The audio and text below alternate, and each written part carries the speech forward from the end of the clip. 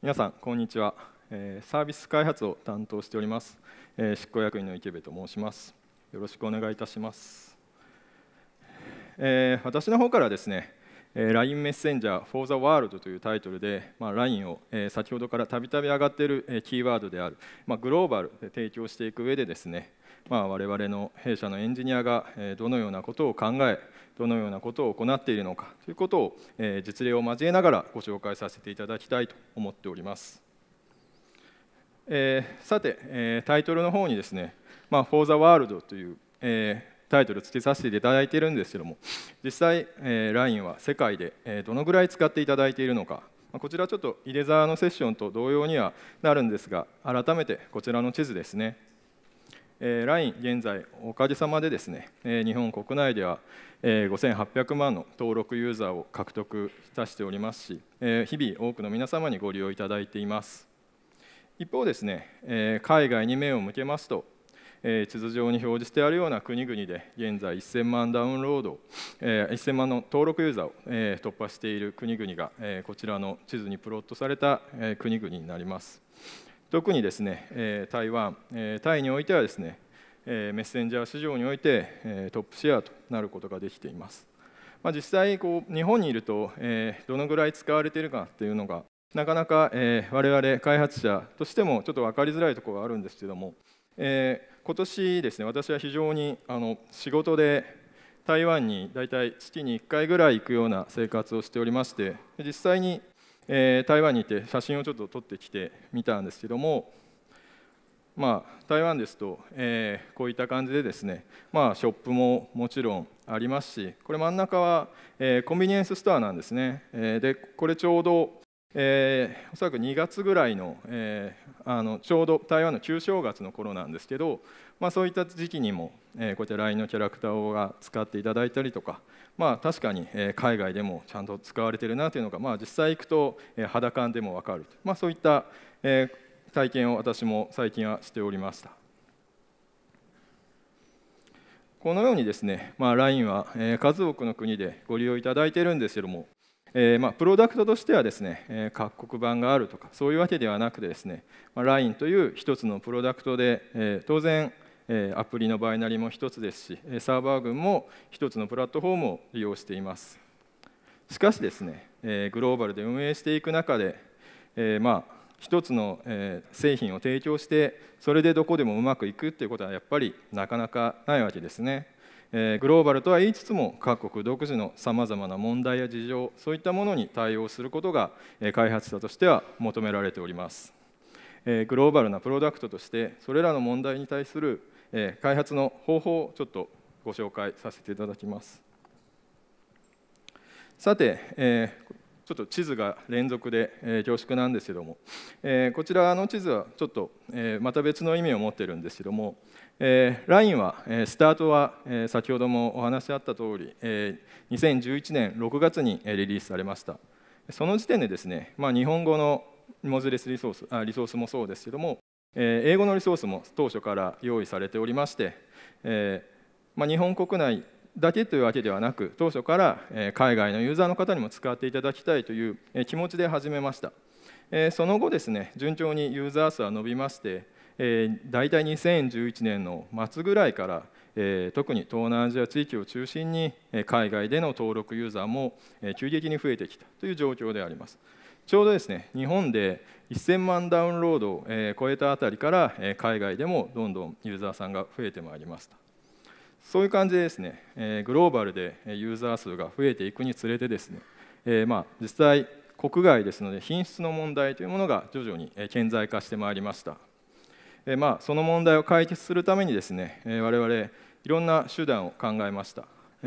まあ一つ、え考えられる王道の手段としては、まあ、現地の、え携帯のキャリアさんと、まあ、ディスカッションを行い、えどうやったらパフォーマンス出せますかみたいな、まあ、そういったお話もあるんですけどもやっぱり一番基本というか大事にしないといけないことはやっぱりエンジニアが実際に行ってその地域で実際サービスはどのように使われているのかということを肌で感じて、えー、実装を行うことがやっぱり最もスピード感も出ますし、えー、適切な実装が行えるのではないかと我々考えまして、さまざまな国へエンジニアを派遣することにいたしました。我々ですねこれを社内で LINE 遠征隊と呼んでいます。でこちらの地図なんですけどもこれまでですね LINE 遠征隊として我々の開発者が訪れたことがある国々を塗りつぶしているものになります。まあ、最初にユーザーが増加したと申し上げた、まあ、東南アジア地域はもちろんなんですけども、まあ、それ以外にも、えー、北米南米ヨーロッパなどさまざ、まなエリアに訪問しました。でですね、まあ、LINE 遠征隊具体的にどういった感じで仕事を進めていくのか。まずですね、まあ、何はなくともネットにつながらないとまあ我々話にならないと。そこでまあえー、現地の一般の方が使用しているものと同じネットワークをまず手に入れようとします、まあ、日本ではですねあんまりあのないか売られてなかったりするんですけども、まあ、大抵海外に行くと、まあ、空港のカウンターとかでも、まあ、普通にプリペイドの SIM なんか結構売ってますので、まあ、そういったプリペイドの SIM と、まあ、何台かの端末を持って、えー、我々の、まあ、LINE 遠征隊の仕事は始まります。まあ、遠征体なんですけども、まあ、大体クライアントサーバー、えー、どちらに問題があるかわからないとか双方に問題ありますので、えー、双方の開発者が大体まあ2人から6名ぐらいで構成されてまして、まあ、国によって期間は様々なんですけども大体4日間ぐらい現地に滞在して、えー、実装やテストを行います、まあ、各国のさまざまな、え、モバイルネットワーク環境で、まあ、LINE のメッセンジャーの主な機能であります、まあメッセージやスタンプの送受信あとはまあ写真の添付ですとか、えー、まあ無料通話ビデオ通話、まあ、こういったものがストレスなく使えるかを確認しますね。で、まあ、日本ではですね、えー、最近非常に高速通信が普及しているんですけども、まあ、世界的に見ると、まあ、まだまだ 3G や 2.5G とかいった、えー、ちょっと、えー、遅めの環境も多いため、まあ、そういった環境でも、まあ、前述の機能が、えー、ちゃんと使えるようになることをま目指しています。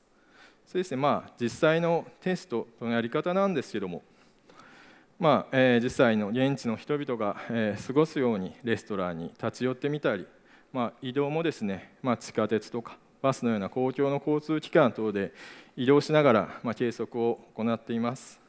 あとはまあちょっと面白いというか、まあ、変わったところでもテストを、えー、日常ということでしたりしててですね。例えば、まあ、ホテルのエレベーターなんか結構よく、えー、ブチブチ切れたりとかそういったこと、まあ、日本でもたまにあったりすると思うんですけど、まあ、それを定測するために、まあえー、ひたすらホテルをエレベーターを上下ずっとしているとか、まあ、そういうことをやってると若干こうなんですかね、ホテルのスタッフが声をかけられたりするのでそこはあの許可を取りながら、えー、そういった割と不思議な、えー、テストもいろいろとやってたりします。またですね最近はですねあの、えー、地上以外に飛行機でも w i f i が結構、まあ、乗られる方はご存知かと思うんですけど結構使えるようになってきてるんですね、まあ、実際、えー、LINE の遠 LINE 遠征隊ではですね移動中の飛行機内の w i f i というそういう特殊な環境でのテストもえテストのスコープとして取り入れています。実際ですね、えー、結構普及してきたとは言いましても、まあ、まだまだ、えー、飛行機内での w i f i ってやっぱり地上に比べるといくらか不安定なんですね。例えば、まあ、80kbps ぐらいしか出ないし、まあ、結構ロスもするみたいなそういったまあ、地上と比べるとかなりまあ劣悪と言って差し支えないような環境でもですね、まあえー、我々再送のアルゴリズムと調整したり、え、まあそういったことで、え、実用的にメッセージの送受信ができるようになって、え、改善しました。でですね、まあ、飛行機の中でどうやってテストするかという話なんですけども、まあ、通常は、え、我々こういった可愛い感じのいい感じの飛行機を持ってましてですねということはなくてですねここ別に全然笑っていただいていいとこなんですけどもあのこの後もちょっと今はちょっと空気がだいぶ硬いかなとは思うんですけどもあのこの後も、えー、開発のエンジニアのトークでも随時笑いどころみたいなのあるかと思いますのであのお優しく、えー、笑っていただければということもありますが、えー、こちら、まあ、というのはもちろん嘘というか冗談でですねあのこちらエアアジアさんとの、まあ、キャンペーンでこういったペインティングした機体とあと実際この中でですねあの LINE が使えるっていうキャンペーンをやったんですね、まあ、実際こういったキャンペーンが、えー、提供できるっていうのも、まあえー、LINE 遠征隊がこう日々、えー、いろんなところに行きながらテストしてくれて、まあ、飛行機内でのクオリティにやはりある一定度以上のものを出すことができた、えー、一つの成果ではないかなと思っております。さて、えー、来年生態なんですけども、まあ、活動のプロセスというものもあります当然、えー、改善するためのサイクルですね。まずですね、えー、現地へ、え行く前に、えまあ、どのような問題があるのかを、まあ、把握します。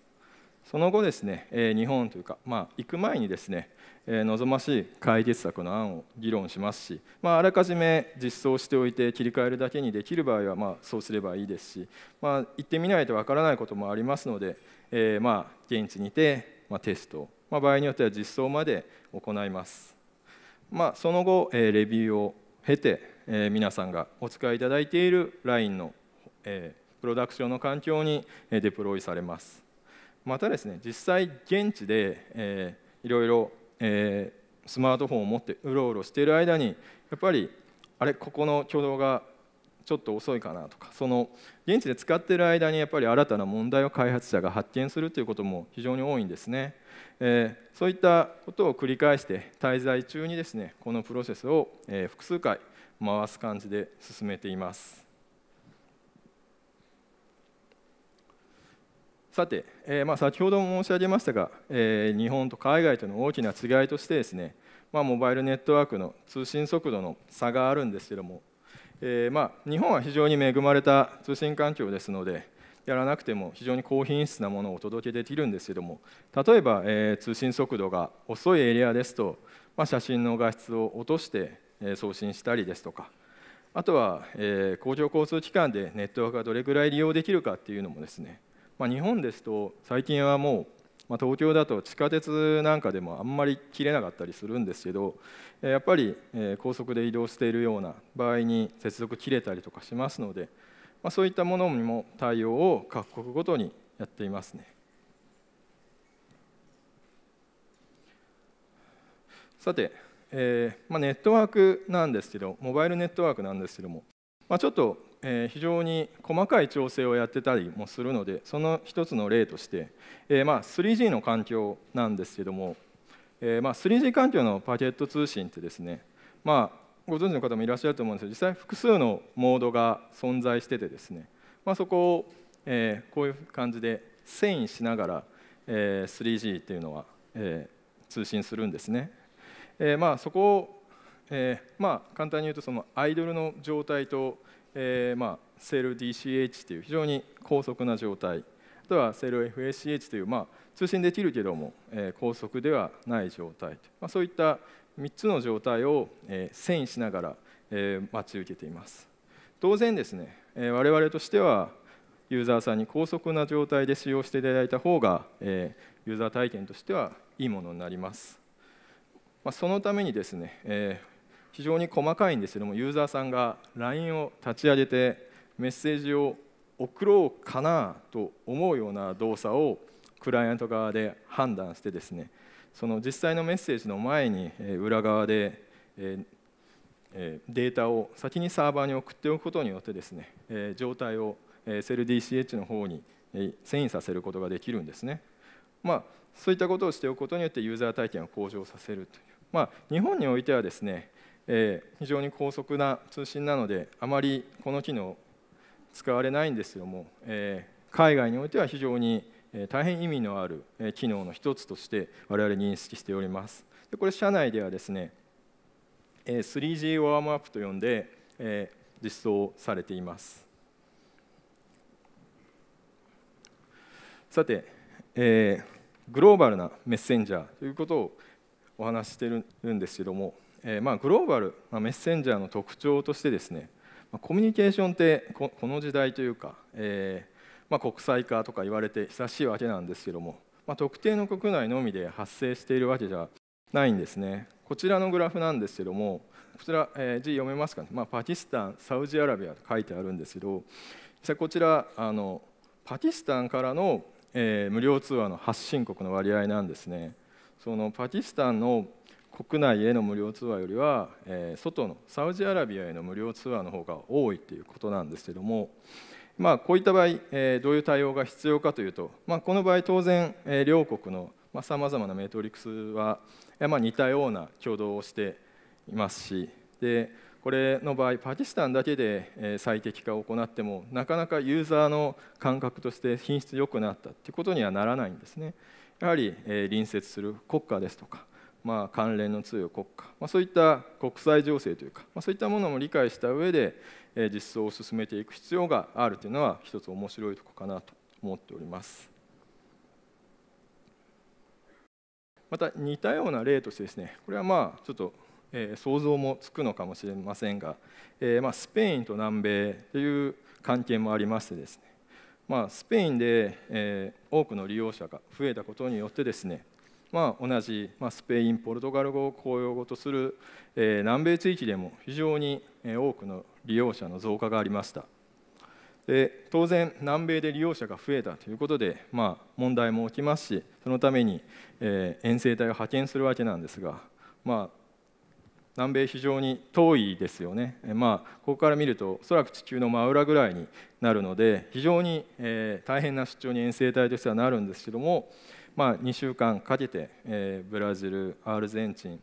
チリ、コロンビアの4カ国を、えー、2週間でテストを行いました。これはですね、まあ、おそらく遠征隊の歴史の中でも、えー、最も長距離を移動して、えー、長い期間かかった、まあ、遠征でした。さて、えーまあ、スペインなんですけども、まあ、LINE にとっては非常に早い時期からユーザーが増えた国家ではあるんですけども、まあ、そのためさまざまな問題も起きました、まあ、今ほど、えー、あらゆる最適化が行われていなかった2012年の末頃なんですけど、まあ、Android では電池の消耗というのが一つの大きなイシューとして上がっていました。特にですねその不満というかの声というのはなぜかスペインのユーザーから、えー、多く上がってきていました。まあ、LINE のような日常的に使用されるメッセンジャーアプリというのは、えー、素早く通知してほしいですけどもそれと同時に、えー、長い間待ち受けてほしいというその電池の扱い方としては、えー、相反する2つの命題を同時にこなさないといけないという難しさがあります。そこはですね、えー、開発者、まあ、スペインに赴いて、えー、LINE を使って行動しながら、えー、電池の減り方を見ながら、えー、実装を進めました。まあ、具体的にはですねメッセンジャーがサーバーと通信するデータサイズを減らしたりですとかあとはまあ通信の頻度を調整したりとか、まあ、そういった非常に地道な細かい作業をまあ1年以上かけて進行しました。まあ、現在 Android 端末をお使いの方にはですね非常に高度に最適化されたそのパワーマネジメントが行われている環境を、えー、提供できているのではないかなと自負しております。さてところで、まあ、地域性関係なさそうな話なんですよ。その電池が減るというのはスペインだけ電池が減るなんて結構おかしな話なので。実際行ってみると分かるんですけど、まあ、こういった2つの理由がありました、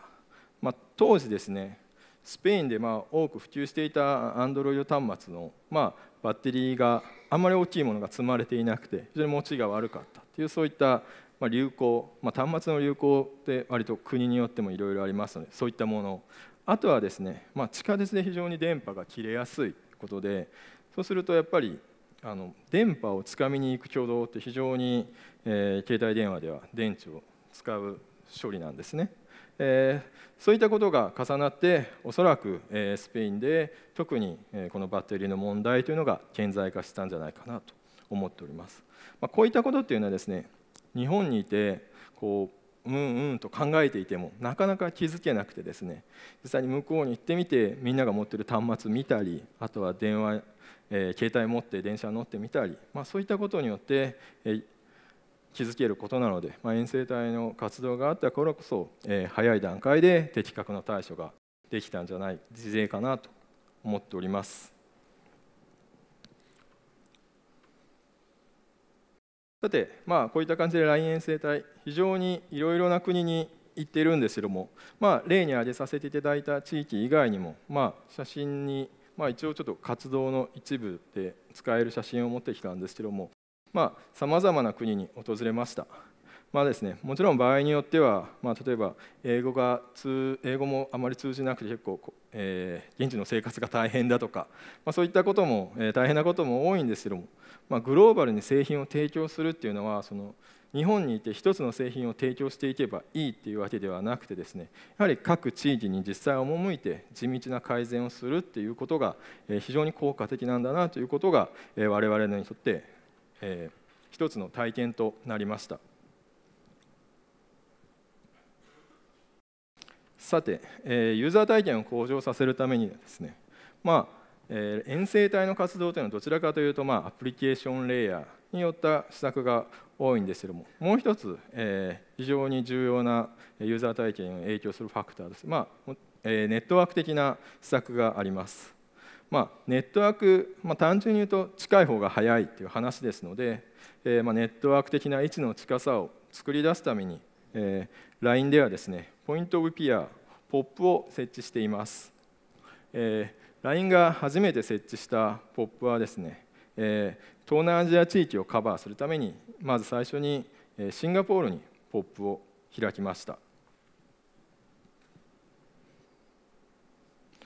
まあ、そのポップを置くための前段階というか、えー、どういった構成になっているのかという話なんですけども、まあ、LINE のサービスはですね実はこのように、えー、右側が、えー、携帯電話とか端末ですね、まあ、端末と通信するフロントのサーバー群とその裏側に、えー、バックエンドそれではまあ2層構造にか非常に簡単にとなってましてですね、まあえー、携帯端末はフロントエンドとのみ通信をしています。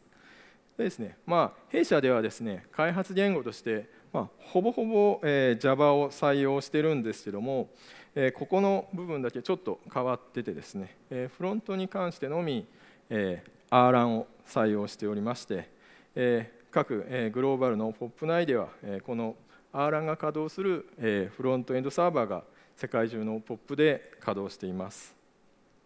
でまあ、グローバル POP で稼働する、えー、フロントエンド、バックエンドはですね、えー、専用線で結ばれておりまして、えー、非常に、まあ、安定した品質でサービスを提供することができるようになっております。まあですね、現在は先ほどシンガポールというお話があったんですけども、えそれ以外のさまざまな地域に、えポップは増やしてまして各々専用線で接続されています、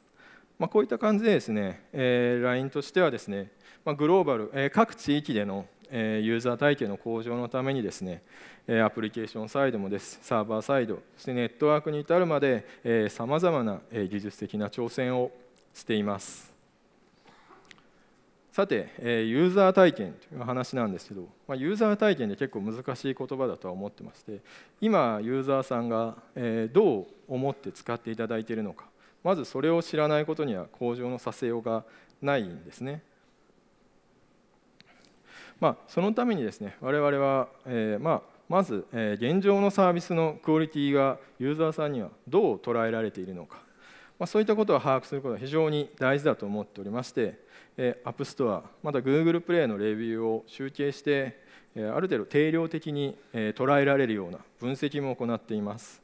まあ、単純なレーティングの星の数もなんですけども、まあ、レビューの文章を、まあ、ちょっと解析してですねえ特定のキーワードの増減等を追跡することによって実際どこで問題が起きているのか、まあ、どんな、え今ユーザーさんどんなことを考えているのかというのをある程度捉えられるように、えなシステムを構築しています。これは先ほどの、え例でもお話しした例えば電池みたいな話ですとおそらく電池みたいなその単語と、えネガティブなレビューが同時に出てくるはずなんですね。例えばそういった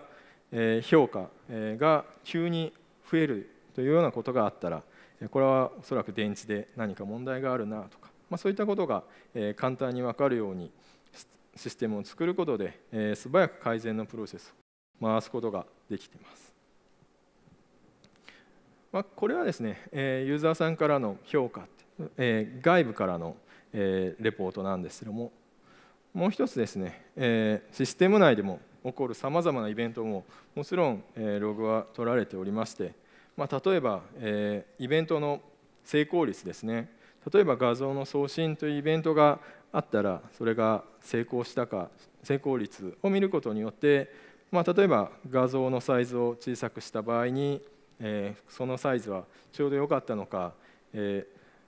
ー、もっと調整しないといけないのかとか、まあ、そういったことがシステムのログからも分かるようになります。まあ、こういった感じですね、まあ、ユーザーからの、ま、フィードバックですしあとはシステム内部でのイベントといった、まあ、2つの分析の結果を組み合わせてですね現状 LINE はどのようにユーザーさんに思われているのか、まあ、そういったことを把握して日々品質改善を行っています。まあ、これは活動をまとめるとですね、えー、まあ後半ちょっとお話ししたようなデータの分析に基づくアプローチととは前半の遠征隊の活動でお話しした、まあ、実際にユーザーが使用する環境や場所に行って実際に肌で感じるというどちらかというと何ですかね、まあ、エモーショナルというか、まあ、人間が感じるというまあ、そういったアプローチを、えー、両方必要だと思って、えー、それらをまとめて我々改善活動を行っています。またですね、えー、我々、まあ、LINE メッセンジャーサービスが一番使っていただいているかと思うんです、まあ、それ以外にもこういったファミリーアプリという形でさまざまなアプリケーション開発しております、まあ、こういったファミリーアプリにおいてもですねこれまで、えー、蓄えてきた、えー、グローバルな環境でアプリを提供していく上ではどういったことを行えばいいのか、えー、どういったところに問題が起きやすいのか、まあ、そういったことをですね、え、ファミリーアプリにおいてもグローバルでえ、提供していく体制を整えております。さて、えーでまあ、この4年ほどですね、まあ、世界のさまざまな国に行ったりですね、まあ、技術的な改善、えー、我々続けてきました。ですが、まあ、まだまだ課題はたくさんあると思ってますし、今後もさらに、より多くの国で LINE を快適に使っていただけることを、我々目指しております。私のセッションでですね、えグローバルプロダクトとしての、まエンジニアの活動非常に概要をお話ししましたが、えまだ個別の技術的な例えば、えグローバルポップ何を本当はやってるのとか、まあ、そのサーバー2層とか言っても、え中で何をやってるのかそれは技術的な詳細は、えまだ全然触れられていませんが、えこの後のセッションではですね、えそういった技術的な詳細についてですね、えこれまで我々が明かしてないことも、え過去にないほど詳しくお話しさせていただきたいと思っておりますので、えー、ぜひ、えー、この後のセッションも楽しんでいってください。はい、それではご清聴ありがとうございました。